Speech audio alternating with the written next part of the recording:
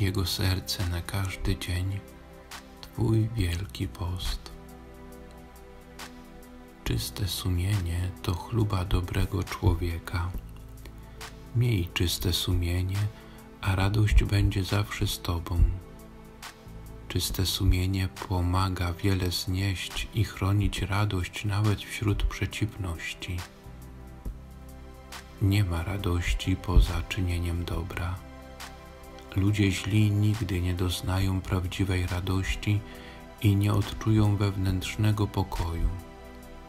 Nie ma pokoju dla bezbożnych, mówi Pan. A gdyby nawet mówili, żyjemy w pokoju, nie zdarzy nam się nic złego, bo któż ośmieli się nam zaszkodzić, nie wierz im, bo nagle podniesie się gniew Boga, w nicość obrócą się ich czyny, a myśli przepadną. Najświętsze serce Jezusa, zmiłuj się nad nami. Niepokalane serce Maryi, módl się za nami. Jezu, ufam Tobie.